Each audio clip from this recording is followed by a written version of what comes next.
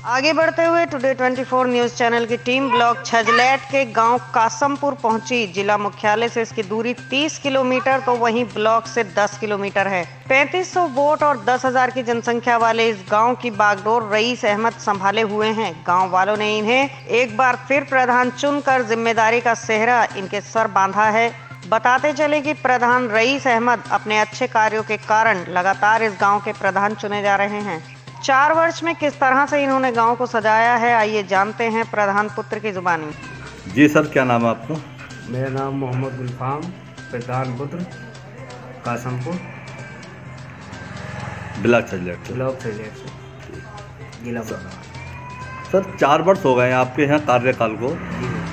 चार वर्ष में आपने कितना विकास कराया है और क्या क्या विकास कराया है गाँव में? चार वर्ष में साहब हमने गाँव के अंदर लगभग जो है साठ सत्तर मकान आवास बन चुके हैं प्रधानमंत्री सरकार की तरफ़ से। और हमारे गाँव में लगभग पाँच सौ के लगभग शौचालय लगभग पूर्ण हो चुके हैं। ओडीएफ हो गया गाँव तो आपका? ओडीएफ हो गया हमारा गाँव। और जिस सड़कें इंशाल्लाह सब पक्की हैं हमारे गाँव की। एक दो को छोड़ के उस पर कार्य पर कर चुका है। सीसी टाइल्स कराया है या बस सीमेंटेड वाली सब टोटल आरसीसी रोड कराए हैं।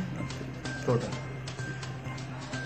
अच्छा यहाँ आपने पंचायत में सोलर लाइट वगैरह लगाई है? जी सोलर लाइटें लगाई हैं और स्ट्रीट लाइटें लगाई हैं गाँव में। कितनी सोलर लाइट लगाई है? हमारे गाँव में सोलर लाइटें हैं लगभग कुछ इसमें है पैंतीस चालीस के डस्टबिन कूड़ादान वगैरह लगाए हाँ? कूड़ेदान भी लगे हैं हमारे गाँव में। साठ पैंसठ कूड़ेदान लगाए थे वो भी हैं लगे लोग यूज़ करते हैं अच्छा ये चेयर्स वगैरह कुर्सी वगैरह लगाई हैं? भी डाली है। गाँव में जगह जगह लोगों को बैठने के लिए उनके जो है यात्रियों के लिए खड़े होने के लिए बैठने की सुविधा है वहाँ सब कंप्लीट है। काम अभी और चल रहा है एक साल है अभी। इंशाल्लाह जो काम बचे हैं वो भी होंगे। आंगनबाड़ी केंद्र है आपके यहाँ? जी आंगनबाड़ी केंद्र है उस पर हमने बच्चों के लिए चेयर की सुविधा कराई है अभी।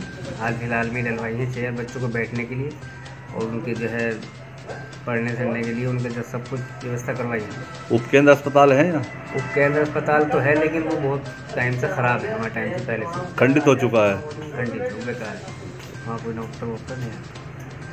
सम्मान निधि का पैसा क्या किसानों के खातों में मिलता आता? बिल्कुल, बिल्कुल। सम्मान निधि का हमारे गाँव में लगभग सौ से डेढ़ सौ किसानों को मिल चुका है। अच्छा उज्जवल कनेक्शन के कनेक्शन के योजना के अंतर्गत जो योजना चली थी सरकार की उसमें क्या कनेक्शन हुए लोग कनेक्शन बहुत सारे कनेक्शन हमारे यहाँ पे हुए हैं गाँव पे लोगों को सबको मिले हैं। उपभोक्ता में बहुत सारे लोग जो जिनके पास लाइट की सुविधा नहीं थी उन्हें सबको मिल चुकी लगभग अस्सी परसेंट नब्बे परसेंट लोग। अपने गाँव को सुंदर बनाने के लिए क्या आप सरकार से मांग रखना चाहते हैं? बस सरकार से मांग हमारी यही है कि जैसे काम का सरकार कर रही है कुछ और प्रगति कर दे और बढ़िया हो जाए। फ़िलहाल काम बढ़िया है सरकार का कोई दिक्कत है नहीं। सरकार के कार्य से आप संतुष्ट हो? जी बिल्कुल बढ़िया। कोई दिक्कत नहीं है सब बढ़िया काम। ये नया नव वर्ष चल का महीना चल रहा है।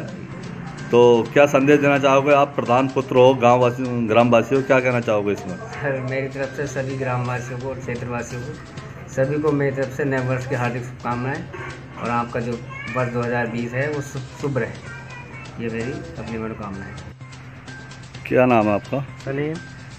कौन सा गाँव के रहने वाले हो? नया गाँव कासमपुर जब प्रधान द्वारा यहाँ जो काम कराए जा रहे हैं सड़कें वगैरह जो बनवाई हैं क्या कहना चाहोगे इसमें आप? हम तो इनके काम से बहुत खुश हैं।